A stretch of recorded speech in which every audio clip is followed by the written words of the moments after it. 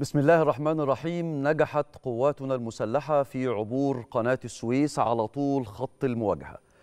في السادس من أكتوبر من خمسين سنة كان هذا البيان العسكري اللي أثلج صدور كل المصريين لحظة العبور. ولحظات العبور هي لحظات مش ممكن تتنسي من ذاكرة أي مصري. لكن لحظة العبور في ذاكرة اللواء محمد عبد القادر مختلفة جدا لأنه أول العابرين للساتر الترابي وبالتالي كان أول واحد قدر أن يؤكد لزمايله على الجبهة أن الساتر الترابي ده شيء يقهر وبسيط قدام عزيمة المصريين. هندخل مباشرة في هذه اللحظات لحظات العبور مع اللواء محمد عبد القادر. سيادة اللواء كل سنة وحضرتك طيب وأهلا بيك معنا في التاسعة. وحضرتك طيب والسادة المشاهدين وكل عام وأنتم بخير.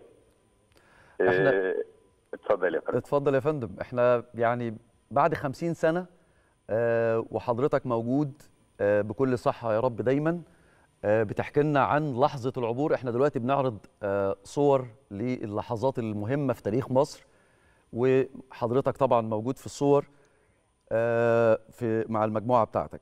آه، المدفعية المصرية ولحظات العبور حضرتك احكي لنا اللحظة دي تحديدا كانت عاملة مع حضرتك إزاي؟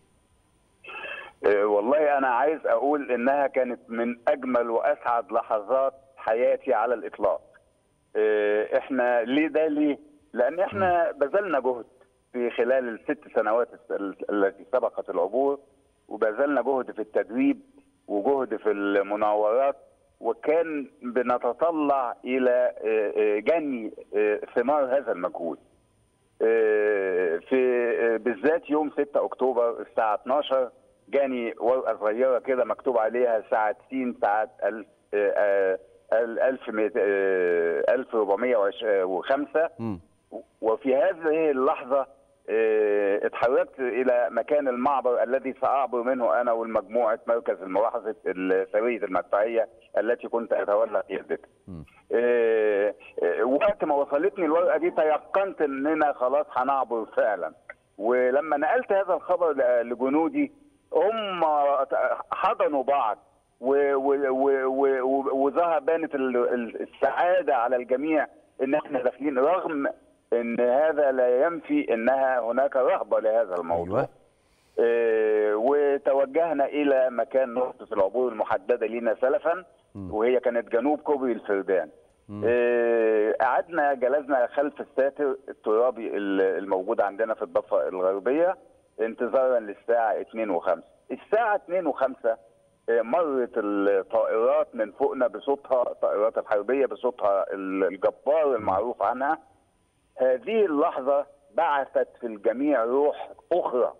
ال- الناس كلها صاحت في نفس واحد الله أكبر هذا لم يكن توجيها من أحد ولكن هي سلوك شخصي يعبر عن السعادة ببدء العملية العبور. ثم آه، نزلنا إلى القوارب وانطلقنا إلى الضفة الشرقية للقناة. كانت لحظات سعيدة بعد خمسين سنة الواحد ما زال بي- بي- بي- بيتذكرها بكل فخر.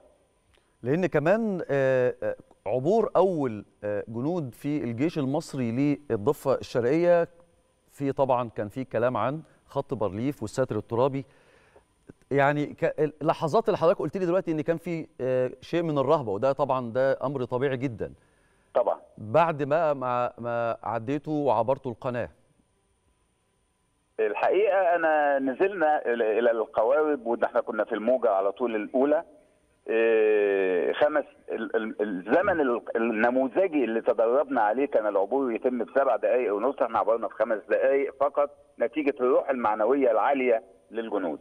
بمجرد وصولنا حتى أنا من الطرائف إن أنا كنا في قاربين نبهت على القارب الثاني إن أنا لو وصل الأول ما ينزلوش إلا لما أنزل. أيوه. ف... وفعلا هم وصلوا قبلي بثواني كده.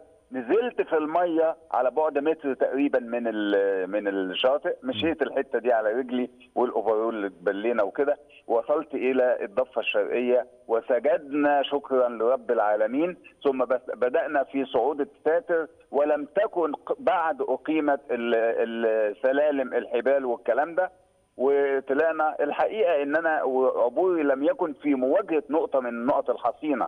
حضرتك معروف إن هناك 61 31 نقطة حصينة كانوا على طول ال خط الجبهه. الخط برليف. آه، يعني بينه كل نقطة ونقطة حوالي 10 كيلو 8 كيلو 7 وهكذا. آه، أنا عبرت في فاصل من هذه الفواصل ولذلك لم نواجه مباشرة بنقطة قوية لما يعني نواجه بنقطة قوية. ولكن الصعود الساتر الترابي في حد ذاته بالأظافر وبالحذاء البيادة كانت مسألة هي هي يجب أن أن أن تدرس. إحنا كانت صعبة صعبة علينا والواحد بيطلع ثلاث خطوات وينزل خطوة يزحلق خطوة مم. إلى أن وصلنا. كانت هناك معاناة من منذ اللحظة الأولى. لكن مم. لما وصلت حضرتك فوق لفوق بمجرد الوصول لفوق إحنا حسينا إن إحنا انتصرنا لأن إحنا هنبدأ المشوار على الأرض. لأن هو كان مصمم بطريقة إن ما حدش يقدر آه، يتسلق هذا الساتر. بالمناسبة دي سياده اللواء عايزين بس نوضح للناس هو الفرق ما بين الساتر الترابي وخط آه، بارليف لأن هو في خلط بين الأمرين. ده سؤال جميل جدا الحقيقة وفي محله تماما. الخط بارليف بيتكون من جزئين من شا... من من حاجتين أساسيتين. الساتر الترابي على طول مواجهة القناة ثم في في أجزاء من هذا الساتر أنشئت 31 نقطة قوية على طول المسافه ومواجهة القناة اللي هي كانت الجبهه حوالي 200 150 متر 150 كيلو متر ال- ال- الخط بارليف هي النقط الحصينة دي ال 31 نقطة. أما الساتر الترابي فده ساتر ترابي كان أنشأوه في أثناء توقف ال- آه، وقف إطلاق النار أثناء عملية مبادرة روجرز ومحاولة الحل السياسي آه، فهو هو- فمن يطلق على خط على الساتر الترابي خط بارليف فهو آه، يعني آه، آه، آه، يعني معلومات مش آه. مش دقيق معلومات غير دقيقة آه آه،. بعد بعد عبوركم ده كان بمثابة دافع لبقية القوات إن هي تعبر. الموضوع سهل وبسيط دلوقتي. هي ال- القوات اللي اللي خلفنا شافتنا طلعت طلعنا فعلا. خلاص أيقنوا إن المسألة مسألة سهلة جدا ومسألة وقت. والحقيقة كانت آلاف القوارب على صفحة المياه في الوقت ده. وعايز هنا أقول حاجة مهمة. اتفضل. إن التمهيد النيراني اللي اللي بدأ الم- بالمدفعية اللي بدأ أثناء بعد عبور الطيران مم.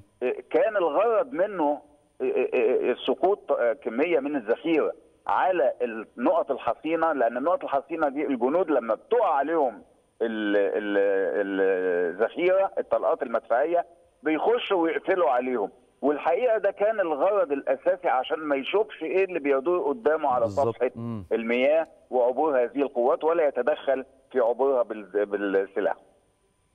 اللحظات التي لا تنسى في آه، لحظة العبور بالنسبة للواء محمد عبد القادر. يا فندم اللحظات الل- التي لا تنسى آه، أثناء العبور لحظة العبور الأولى عند اللواء محمد عبد القادر. هي هي أنا عايز بعتبر العبور عملية العبور نفسه دي كانت لحظة واحدة وطبعا دي دي ثابتة في ذهني تماما ولا تنسى. أما في عمل في الحرب نفسها بقى في أول ليلة أنا ربنا وفقني إن أنا دمرت بطارية مدفعية بكسريتي سرية المدفعية. دمرت بطارية مدفعية الساعة 9 أو 10 مساء وكانت بتضرب علينا بقى ضرب عشوائي لأن هم لسه لم يكونوا قد أفاقوا من الصدمة.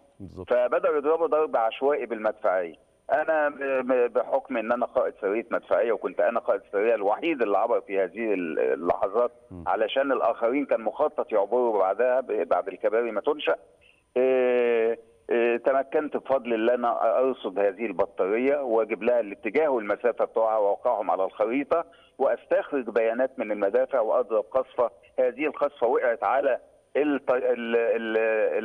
سرية ال- ال- بطارية المدفعية والحقيقة اللي أسعدنا جدا وأسعد المشاة اللي حواليا بقى اللي كانوا عبروا إيه، إنها كانت بدأت الذخيرة بتاعتها تفرقع بطريقة كده زي زي حبات الفشار آه. يعني. يعني بعد خمسين سنة بنجدد التحية للواء محمد عبد القادر وكل أبطالنا آه، أبطال نصر أكتوبر الأحياء منهم وشهداء. أنا بشكرك جدا سيادة اللواء وبقول لحضرتك مرة تانية كل سنة وحضرتك طيب.